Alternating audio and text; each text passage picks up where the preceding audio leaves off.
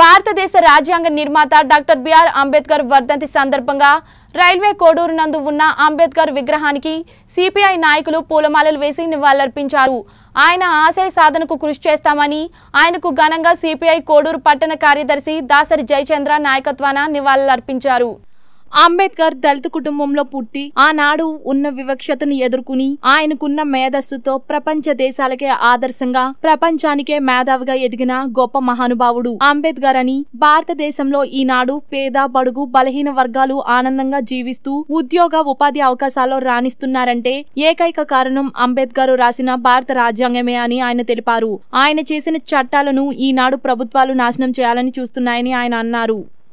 మన ప్రజలంతా మన బడుగు బలహీన వర్గాల వారు ప్రతి ఒక్కరూ చేసి అందరూ కలిసినట్టుగా ప్రతి ఒక్కరు బాగా చదువుకోవాలా ఉన్నతంగా జీవించాలా చేసి మంచి స్థాయిలో ఉండాలని చెప్పి మన అంబేద్కర్ అలాగే మన ఈ ఈ రాష్ట్రంలో అయితేనేమి ఈ దేశంలో అయితేనేమి ఎప్పుడెప్పుడు అనేది మన ఎస్సీ ఎస్టీ బలహీన వర్గాల వారు ఈ దేశాన్ని ఈ రాష్ట్రాన్ని పరిపాలిస్తున్నారు. ఎందుకంటే తక్కువ సంఖ్య ఉన్నటువంటి వారి పూర్తిగా పార్టీలు పూర్తిగా నాయకుల ద్వారా మనం అనగదొక్కబడి ఈరోజు అన్యాయంగా అక్రమంగా అనగదొక్కబడి ఎన్నో హింసలకు చిన్నపిల్లలు చిన్నపిల్లలు కూడా పూర్తిగా పార్టీ పూర్తిగా పూర్తిగా సంఖ్య సంబంధించిన ప్రతి ఒక్కరూ చిన్నపిల్లలు కూడా అత్యాచారం కాబట్టి ఇకనైనా మన గౌరవ చైతన్యం రావాలా?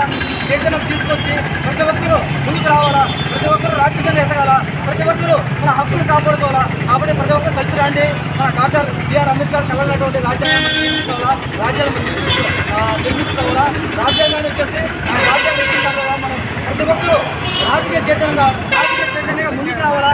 ప్రతి ఒక్కరు రాజకీయ ఆ, కావాలా ప్రతి ఒక్కరు రాజకీయాలు పాల్గొనాలా అలాగే మన బడుగు బలహీన వర్గాల వారు మన ఈ రాష్ట్రాన్ని ఈ దేశాన్ని పరిపాలించాలి. అక్కడ మన బిఆర్ అంబేద్కర్ కలగ కలగలిగినటువంటి రాజ్యాన్ని తీసుకురావాలని చెప్పేసి మనస్ఫూర్తిగా కోరుకుంటూ సెలవు తీసుకున్నాం